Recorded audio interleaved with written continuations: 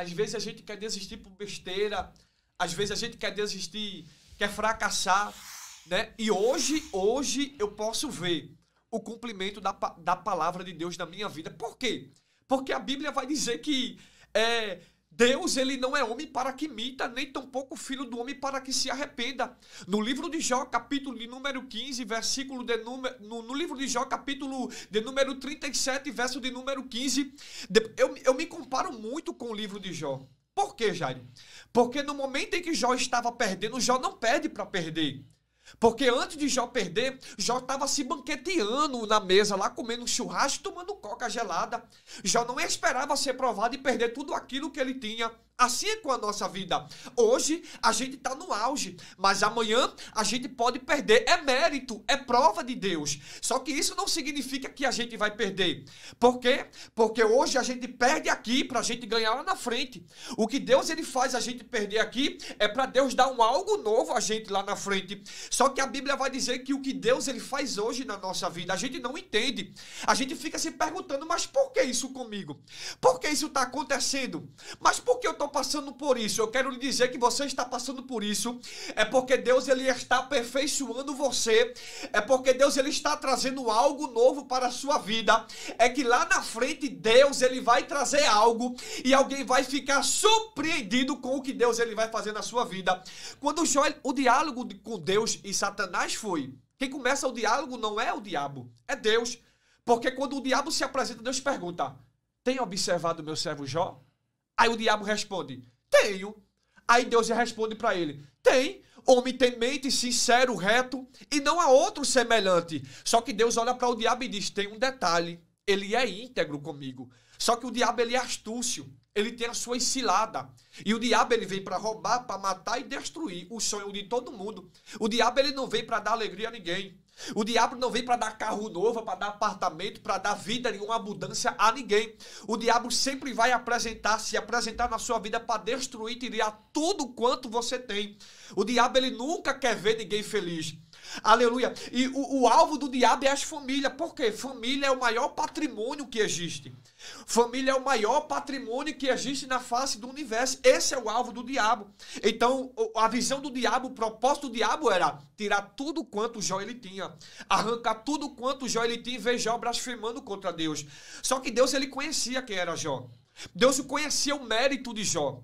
Acima de todas as coisas, Deus conhecia quem era Jó. Aí Deus olha para o diabo e diz: então vai lá, Tira tudo quanto já tem.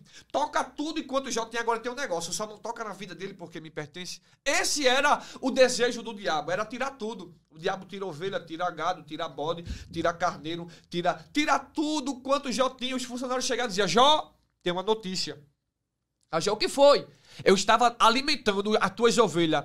Quando de repente, Jó, sobreveio um temporal, Jó levou todos os teus rebanhos de ovelha. E o que aconteceu? Só restou eu para contar a história. Isso era o sebo de Jó.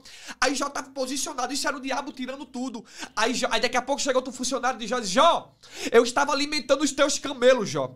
Quando de repente sobreveio um, um vento do temporal lá do deserto, levou todos os teus rebanhos, Jó. Só restou eu para contar a história. Só que o diabo ele não está agradado, o diabo ele não está satisfeito com o que Jó está perdendo. Então o diabo ele vai mexer na família de Jó. A Bíblia diz que Jó ele tinha dez filhos e estavam os dez filhos, aleluia, se banqueteando os nove filhos na casa do primogênito do filho de Jó, mais velho, comendo, se banqueteando, bebendo. E quando de repente o diabo já não achando mais satisfeito, eu estou comparando a minha vida com isso porque eu perdo até o que eu não tenho.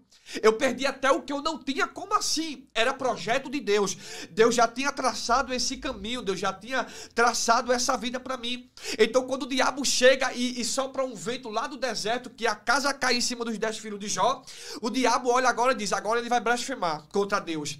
Agora ele vai desistir. Como é que a gente traz isso aqui para o tempo de hoje? É quando Deus ele coloca a gente na prova e a gente quer deixar a igreja, a gente quer deixar de caminhar, a gente quer sair do lugar da gente, a gente quer deixar de louvar, a gente quer deixar de pregar. A prova ela não pode parar você. A dificuldade ela não pode parar você.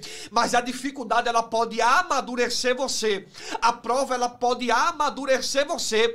Mas por que, terra, eu estou passando por isso? É porque Deus ele quer que você passe por isso, para que lá na frente você possa contar esse testemunho e pessoas vão ser beneficiadas através desse testemunho. Só que eu encerro aqui essa participação de Jó dizendo: quando o diabo ele pensou que Jó iria desistir, que iria fracassar naquele momento porque tinha perdido seus dez filhos, porque doloroso é perder filho, é perder família. Se já dói perder e ver um caixão saindo de dentro de uma casa, imagina Jairo ter que ver dez caixões saindo de dentro de uma casa.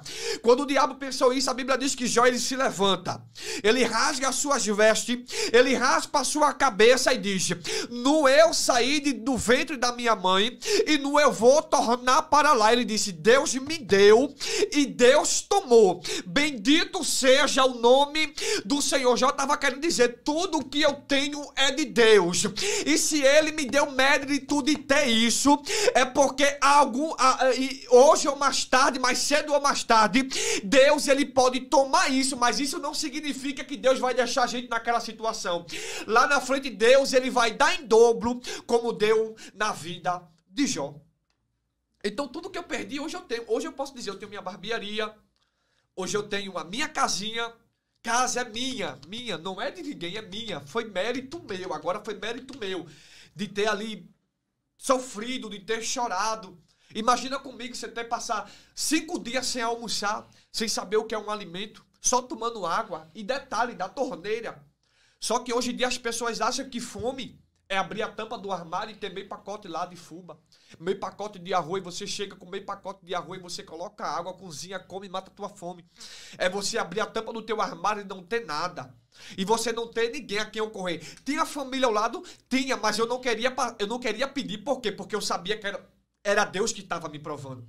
Eu sabia que era Deus que, é Deus que estava me testando ali.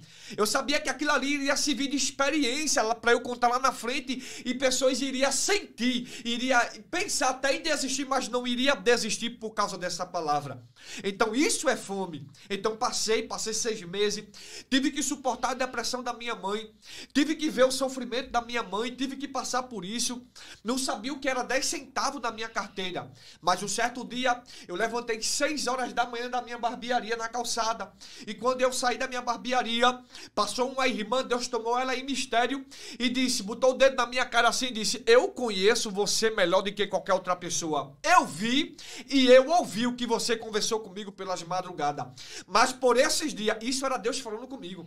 Por esses dias sentarei alguém da tua família para ter um particular. Soprarei teu nome nos quatro cantos da terra e alguém vai ter que reconhecer que eu sou Deus na tua vida. Depois daquele dia, Jário, Deus mandou material para construir minha casa. Deus mandou pessoas para me beneficiar, mandar material de construção, predeiro.